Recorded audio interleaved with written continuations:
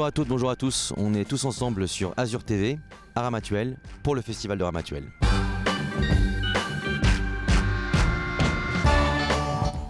Bonsoir à tous. Noël approche, alors peut-être que certains d'entre vous ont décidé d'aller passer quelques jours sur Paris. Si c'est le cas, jusqu'au 26 décembre au théâtre du Petit Saint-Martin, vous pourrez découvrir le spectacle, le seul en scène théâtrale d'Alexandre Brasseur, qui s'intitule Brasseur et les enfants du paradis.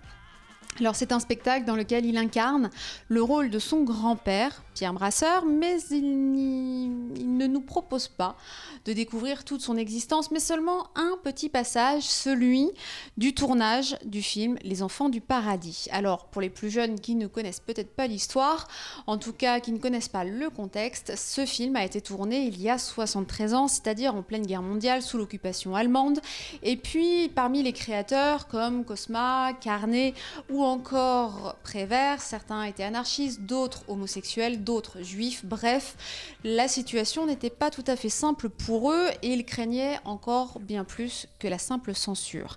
C'est cette histoire-là qu'Alexandre Brasseur nous raconte, c'est notre histoire à nous en grande partie. Je vous invite très vivement à le découvrir. C'est jusqu'au 26 décembre, donc sur Paris. Je ne doute pas qu'on aura très très prochainement des dates de tournée à vous annoncer. Pour le moment, ce n'est pas encore le cas, mais guette, ne vous en faites pas.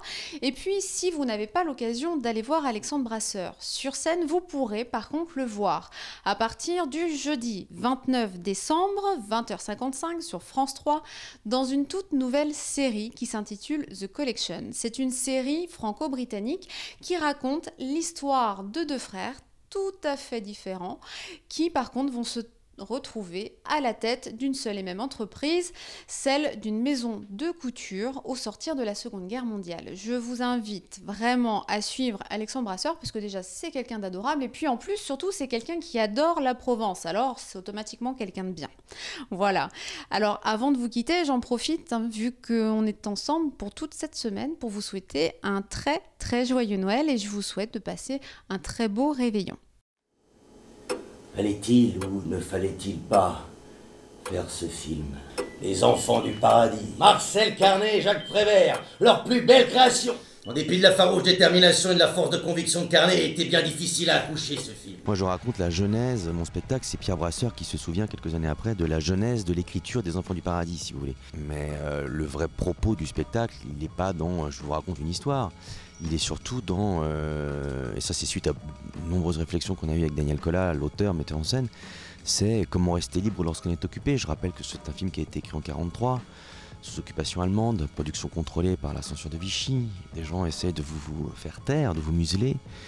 Donc comment vous faites quand vous êtes un artiste, et quels artistes, euh, et que vous voulez avoir la parole libre? Et Au-delà de ça, si vous voulez, il faut quand même savoir que Jacques Prévert, l'auteur, était un anarchiste antimilitariste résistant de cœur. Marcel Carnet, le réalisateur, était un homosexuel. Troner et Cosma, qui sont respectivement décorateurs et musiciens, sont tous deux juifs hongrois. On est en 43. Autant vous dire que ça rigole pas, quoi. Ils vont se mettre dans une maison qui se met en location en Provence, d'ailleurs, à Tourette-sur-Loup. Euh, mais pas n'importe laquelle. Y a, on est sur un nid d'aigle, on a une vue sur la vallée, il y a une porte de derrière pour pouvoir se tirer si jamais il y a les, Allemands qui déboulent. Il y a des morts. Le propriétaire du prieuré, Vincent, euh, se, fait, se fait dessouder. Il est, il est résistant. Bon, ok, il est résistant. Euh, il se fait flinguer quand même, le mec. C'est pas rien, quoi. C'est pas, une, petite, euh, une petite histoire comme ça.